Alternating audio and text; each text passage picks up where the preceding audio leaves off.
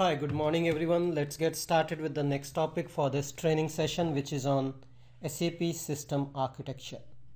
Okay, in this topic we'll be talking about the Java landscape, the ABAP landscape and different components within it. Okay, so let's get started. SAP system. SAP systems are used for mapping business processes or business applications these applications should be implemented independent of the hardware environment used that is operating system database to the greatest extent possible. So this is one key thing to note that is say for example you have a Windows env environment you have say Linux environment or you have your uh, say Unix environment running on IBM uh, then you may have your environment running on Sun Solaris. So basically the SAP perspective, it doesn't change. People who are managing this environment for them, there is not much difference in terms of managing them. Once you go to the SAP SAP GUI interface, there is extremely less difference between them. Okay, but when you come at the database level when you start using the db tools or the os tool that is where there is little bit difference but that is all to do with the operating system maintenance and the database maintenance.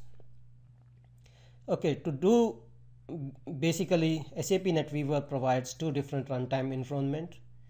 That first is the abap runtime environment. Basically we call it as a usage type as abap you have Java runtime environment.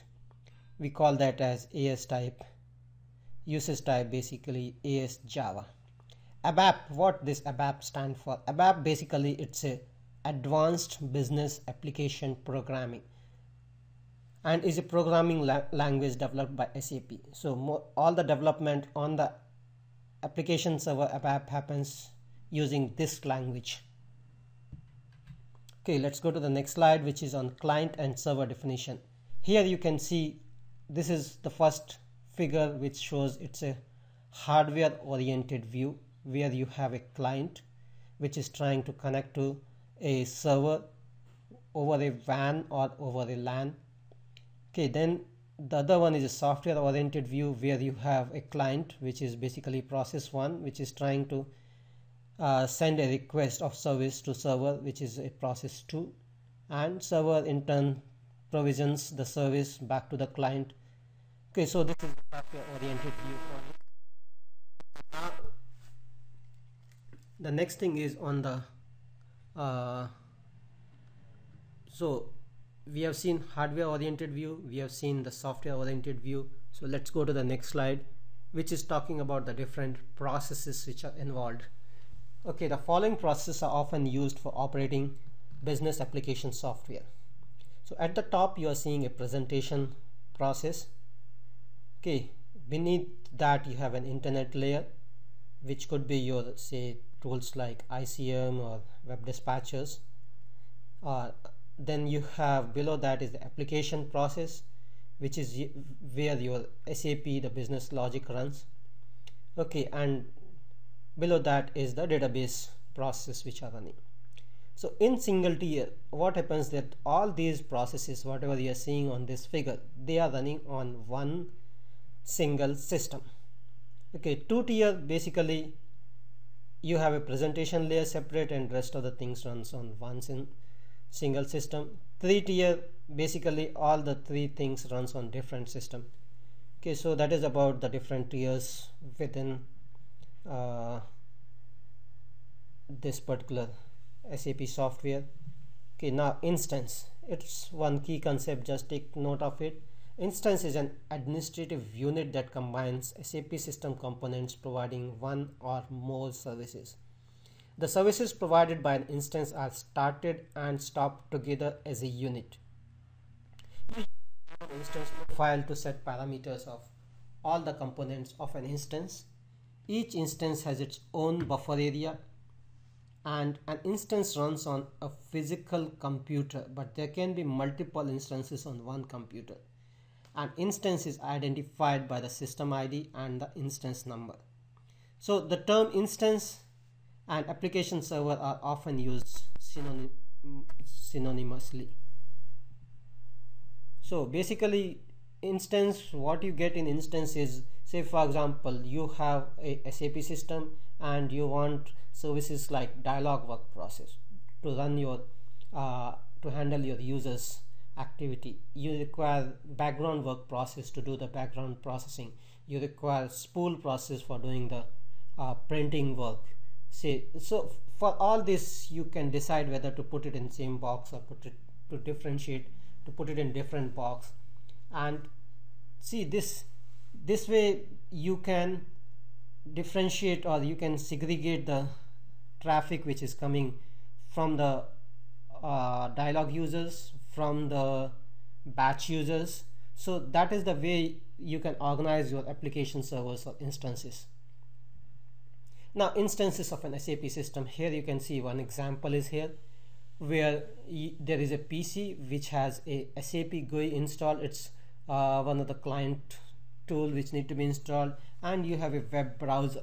So SAP GUI is mainly for accessing the uh, the ABAP application servers. Web GUI is for the Java application servers. Okay then middle you can see there are uh, you have your ABAP and Java instances. Okay you have a central instance central services instance. Then you have a dialog instance so computer B is running just one dialog instance. C is running one dialog instance only. But computer A has central instance as well as central services instance. Okay and computer D is running only database. So this is how you can uh, separate your different layers for providing different services. So central instance of an SAP system. For the AS ABAP, these are the message server and the enqueue work process which is mandatory. For the AS Java, you can recognize the central instance by the SDM process.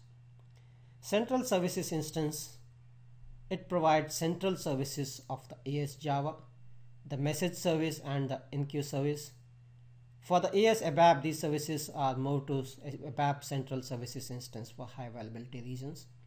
So these AS ABAP systems therefore no longer have a central instance. All other instances of the systems are typically called dialog instance. If the central instance and the database and for the AS ABAP Java also the central services instances are installed on the same computer.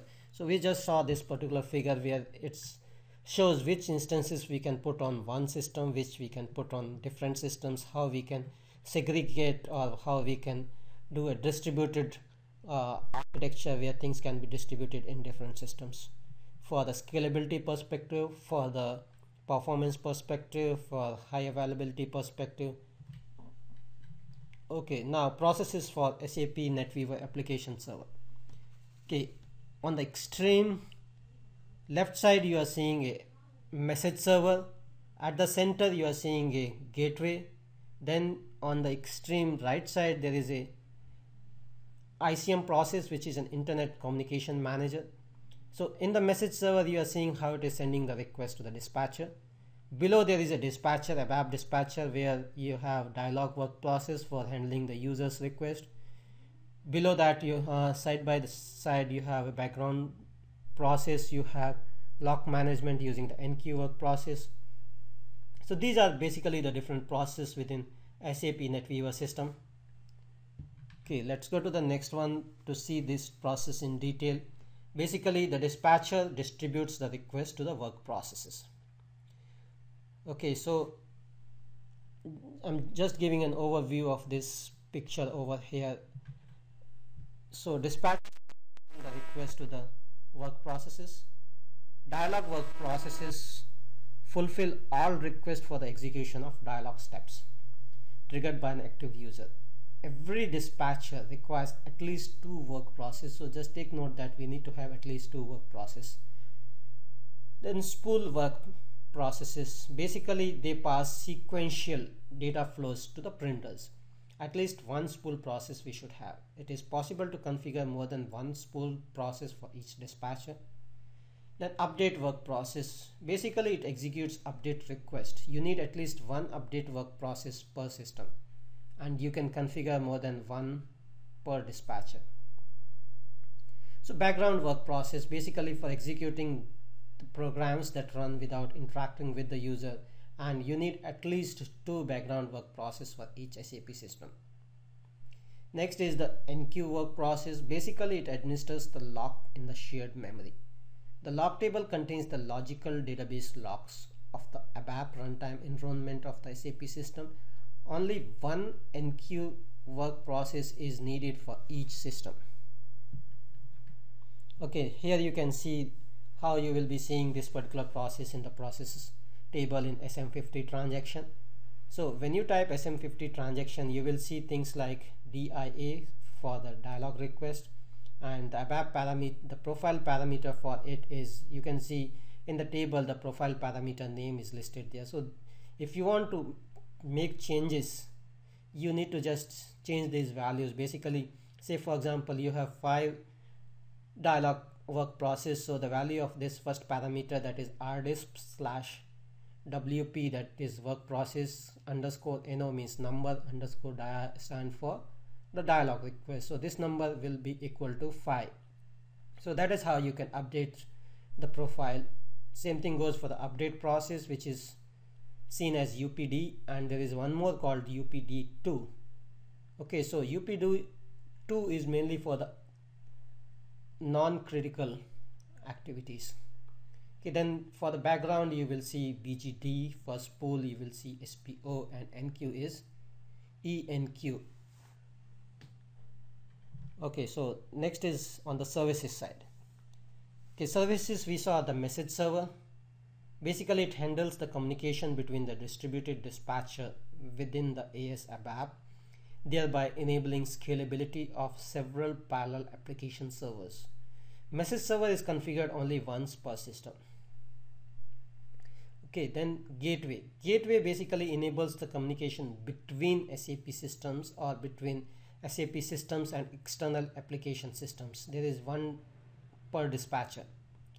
Okay, then ICM basically it stands for Internet Communication Manager and it enables the communication with the SAP system using web protocols like HTTP, HTTPS, SMTP. Okay, so the ICM receives requests from the client and forwards them to the SAP system for processing. Okay now let's get into the java process. Okay you have a message server. This is your java message service you have an enqueue service. Okay then you have sdm that is the sap software deployment manager. Then you have a java dispatcher which is distributing the request between the two and at the bottom you can see that server processes s. Okay now the following processes exist in SAP Java. So first one is we just saw its dispatcher which distributes incoming requests to the server processes. Then server processes execute the Java application. Every server process is multi-threaded and can thus process a large number of requests in parallel. Okay, the Java message service manages a list of Java dispatcher and server processes it is responsible for the communication within the Java runtime environment. Okay, then enqueue process we just saw it is for managing the locks. These are the database locks.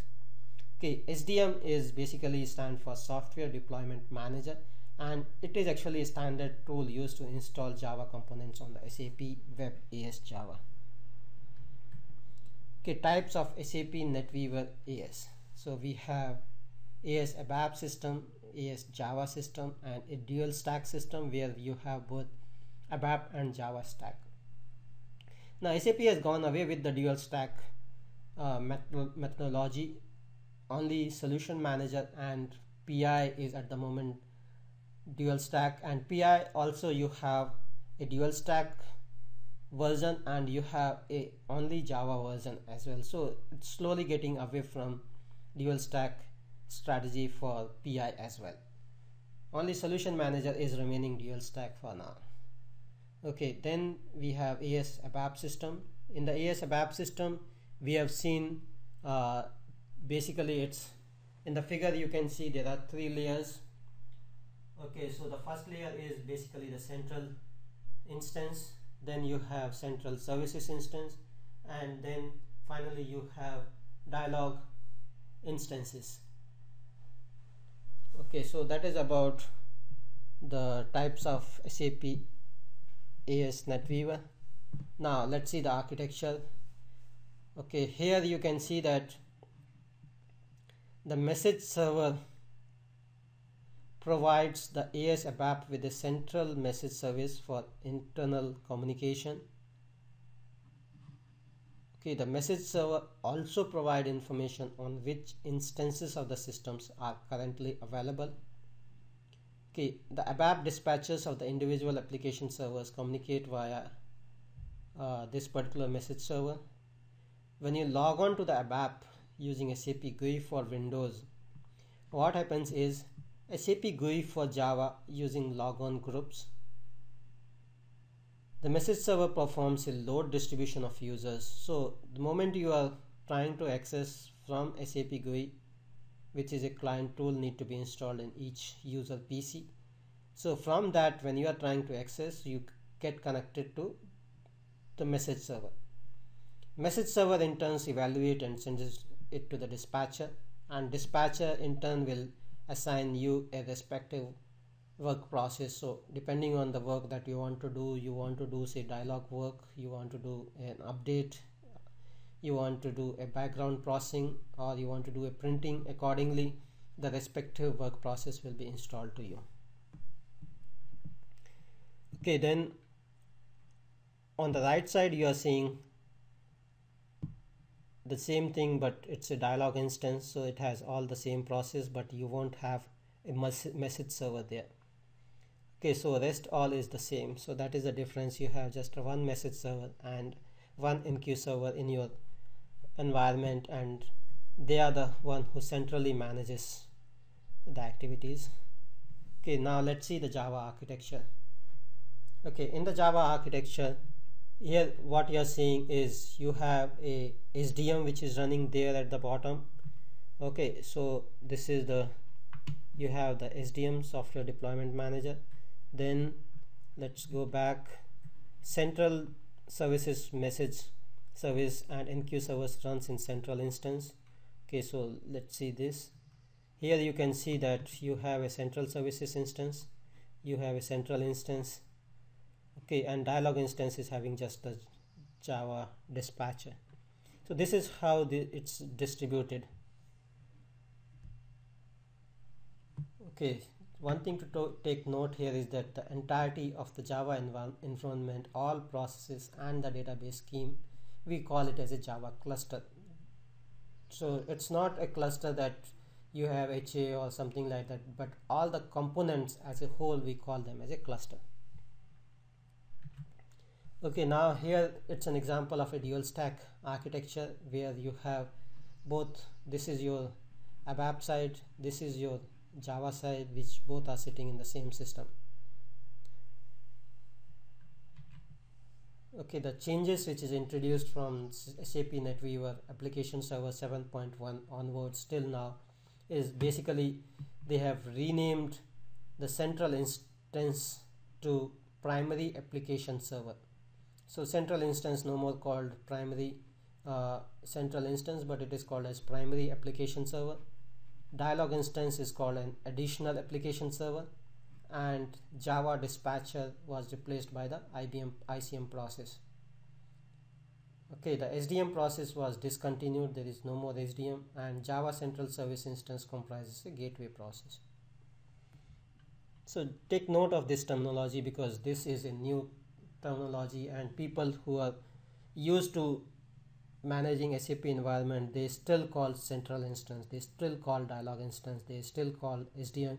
So these three are the core terminologies which is which will be used for for long till you guys get used to the new naming convention for say primary application server is for central instance additional application server is for dialog instance Okay, that's all I wanted to cover in this particular training session. Thank you for joining and have a nice day. Bye bye.